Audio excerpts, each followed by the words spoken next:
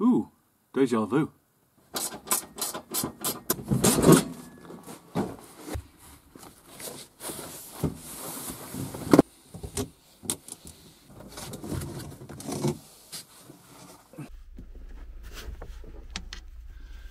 Okay, so this is my 091 gearbox. Uh, you may have seen it in previous videos. Um, it's actually held um, at the front by this strap. Now this is actually a strap from the Type 1 to Type 4 kit, however we've mounted it differently um, and it goes over the top of the gearbox and it's bolted um, through two, two tensile uh, lengths of uh, threaded bar which go through the actual frame horns themselves and clamp underneath. For today's task, I'm looking to replace uh, the gearbox bush. So the front bush on my gearbox was, say, it's all temporary, so it was done kind of as a last minute job to, to stop uh, an issue I had with the gearbox moving. Um, originally it was designed so the strap went further down the side of the gearbox and these side bushes here um, helped stop any sideways movement and there was just a single, it's actually a temporary one as well, but a single thinner one at the front. And what I found is it was actually pulling the gearbox down too hard. Um, so as a last minute uh, emergency fix before one of the shows, um, I raised this strap up and I put a, a, a, bit of urethane bush in there as a temporary measure. And to be honest with you, it's actually worked quite well ever since. That's why it's been there so long. Um, however, I wanted to make this better again, so we're going to replace this bush and make something that's a bit more moulded that hopefully fits within this recess. I'm going to try and shape it along top of the gearbox and to the inside of this uh, this strap and reduce it in size to something probably a touch thicker than the bottom one there um, but so this top one's removed completely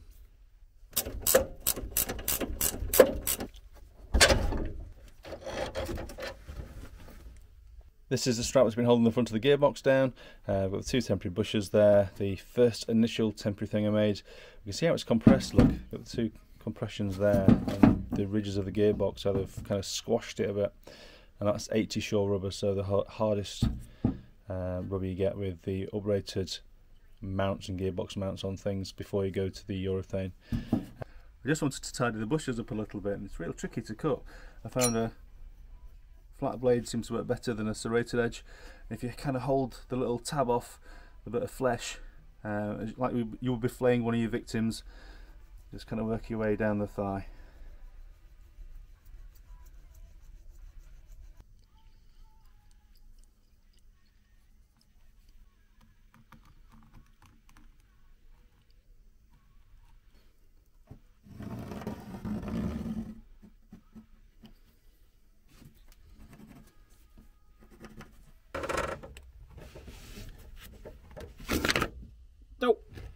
Sorry about that.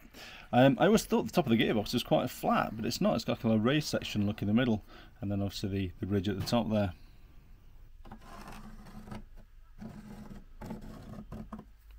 So I've done this a couple of times, and I've double checked it. Now the centre of the gearbox ridge there is actually slightly off centre from the centre of my strap. So I'm assuming for some reason my strap's slightly out of uh, out of centre. Now I don't think that's a major issue as such. Um, I'm going to mould it as it is and should the um, the strap be out of centre it just means that the, the bush will be slightly off to one side. but There's so much bush at both sides of the gearbox I don't think it'll be an issue at all anyway. So we're just going to roll with it and that's vaguely what we're going to try and create. I've decided to make the bush 25mm deep, so that's the measurement there. Um, obviously the, the ridge we just talked about in the centre is accounted for which goes front to back on the gearbox. However, there's a ridge that goes side to side uh, on my gearbox and because of the placement of the strap it's going to be a, problem. Um, I can't think of a decent way of actually moulding that in as we're doing this so basically I'm going to create the mould as it is right here and then I'm going to try and cut out a ridge side to side so the, the bush sits neatly over it.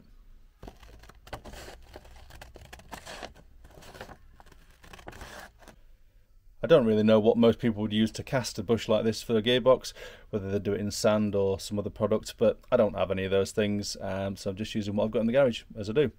Um, so for today, we're using a piece of insulation, just standard foam insulation. Um, it's 35mm thick, and it's just a fraction thinner than the inch and a half strap, so it should be just about bang on.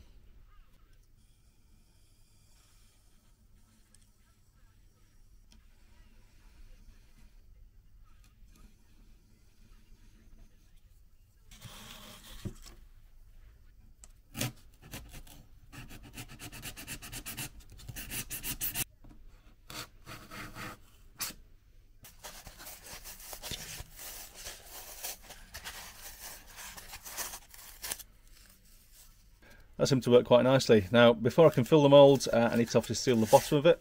So I'm going to do that with just duct tape and cling film, kitchen cling film, or cling or sandwich wrap, whatever you guys called it. Um, now, I've done that in the past on this one, uh, where it didn't have cling film, it's nice and smooth. And where it did, well, I didn't do it very neatly, it folds in it, like you can actually see the cling film that's still there. So you can't separate the cling film once it's gone off, it just sticks solid but you can't really tell it's there and it's not an issue as such and it didn't seem to cause any problems in two years on the car. So we're going to say we're going to seal the bottom with cling film and tape and I'm actually going to put cling film around the inside edge of here because I have no idea what the the rubber mix will do to the foam. Just a tiny bit of glue to help it stick to the edge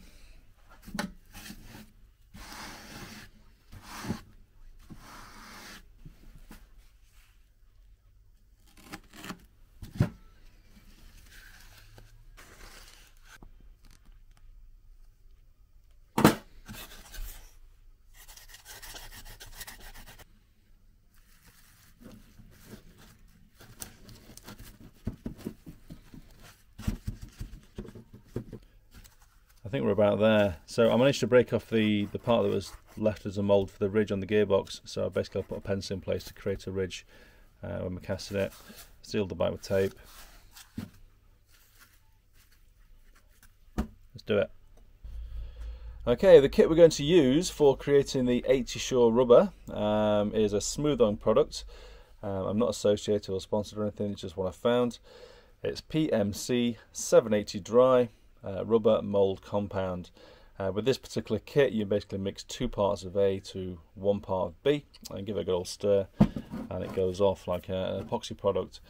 Uh, you can add, add colour in. Uh, this is supposed to be orange, and if you put too much in like I did, it comes out red. right, the components of this mixture don't read as happy chemicals, so try and minimise touching them as much as possible and breathe them as even more it says stir roll before use. I don't know if that means before you actually mix it or after, so I'm just going to do both.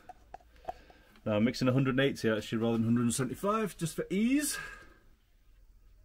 I don't have a measuring pot, unfortunately a paint pot, so I'm going to have to do it in two stages. 60. I'm not sure how accurate you have to be, so I'm being as accurate as possible. I recently mixed some clear um, plastics and it wasn't exactly half and half and it didn't set. So try and be accurate if you can. Don't remember it being black so I wonder if it's gone off. It might have gone off. Uh oh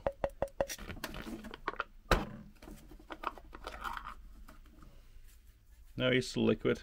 That's good it does say there's a limited shelf life, and I've had this kit for a few years now, so it's done better than it's supposed to have done.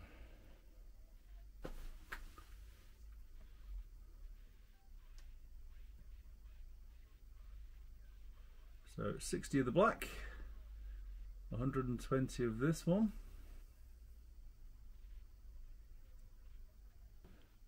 So once you've mixed this and poured it, it's supposed to take 48 hours at room temperature, over 18 degrees. So I'm not sure where we're going to do that because I don't live in the Bahamas. And it's supposed to be a well ventilated place. And I don't live in the Bahamas. it's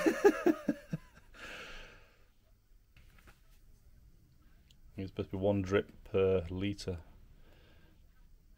So we'll put a load in, shall we? That is one batch of nasty marmite, isn't it? Look at that. Now, no doubt I'm putting a load of air in there and I shouldn't be doing.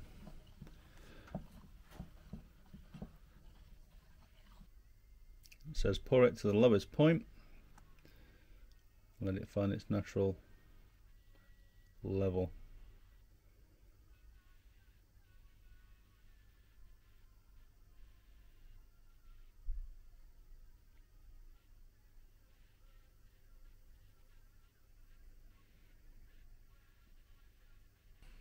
Wow, well, that's just about bang on. Right, I've wrapped my pots up in uh, cling filter. Hopefully they'll last another mix and not go off before uh, I get a chance. I put the excess in there. Hopefully we can make something useful of it. And our mould, which seems to have leveled out nicely. Um, there's some bubbles coming to the surface, but I'm hoping they'll all come out. Um, I've clamped it down onto a piece of wood so I can move it easily. And the only thing I've got now to do is get a chicken lamp or some kind of bulb that's warm in here because it's about seven or eight degrees this time of year at best, and it's going to be 18, so uh, it's going to have to cure under a lamp. Let's hope the 60 watt bulb's hot enough. Right, I shall see you in 48 hours. Right, I've removed the tape. I was hoping I might be able to push it out in one piece without breaking the mould. Oh, we might get it. Oh, bugger. Oh well. We'll make another one, I guess, if we needed to.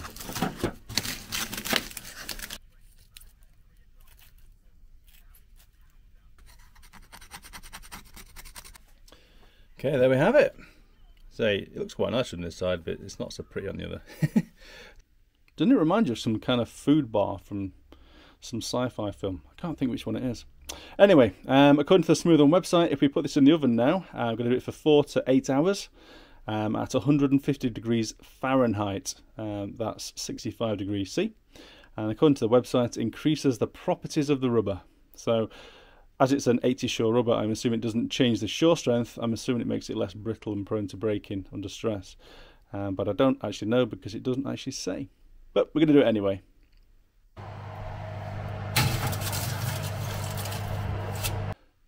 It seems to fit inside the gearbox strap quite nicely, so uh, let's see what it looks like on the car. So if the bush fitted here, it would be almost perfect. Unfortunately, that's not where the strap goes.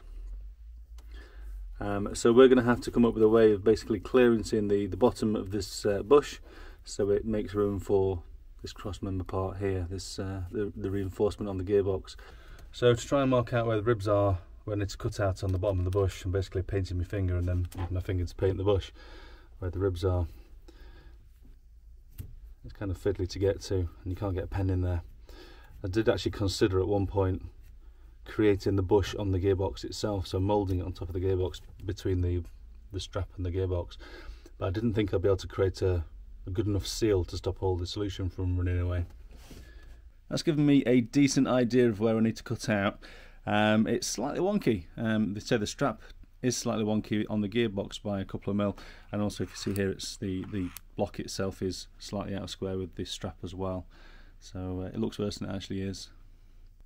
I've just done a quick experiment to see how it cuts with an angle grinder. So basically using a, just a basic slitting disc, I slice the end off, and it doesn't actually grab how I expected it to. So it's a lot safer than I expected it would be to cut um, a rubber block.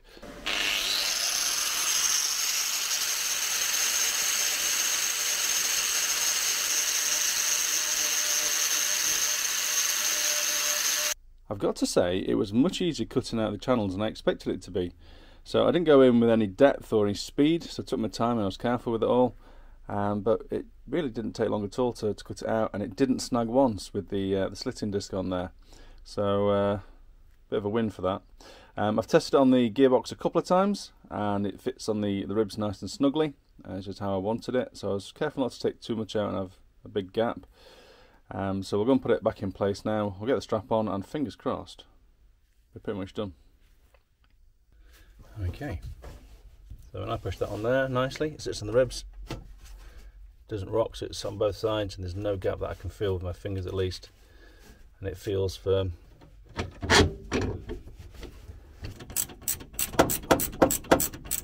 We are pretty much done. I'm quite happy with that. So I know it's not the prettiest solution in the world, um, but as I mentioned, it wasn't meant to be. It's meant to be totally functional. That's better. now we've got the strap the right way around. I'm pretty happy with the bush, how it's turned out. It was relatively straightforward to do. It did take a few days because of the cure time and stuff, but say it was it was straightforward. Um, the old bush worked relatively well, so I'm quite confident this is going to be a, a good improvement over the old one. Um, it's much wider, there's much more bush in contact with the gearbox than there was in the old one, which was just kind of propped on top of the ridges. And also my side bushes are down the side of the gearbox as well. So in terms of stability, uh, I'm expecting uh, a good upgrade. and hopefully it'll feel better under power um, and perform better. So I can't wait to give it a try and get some uh, get it on the road. Right, thank you guys for watching. If you stuck it out this far, um, hopefully it'll help you create a similar bush for a similar crazy project should you need to. Cheers, take care, bye bye.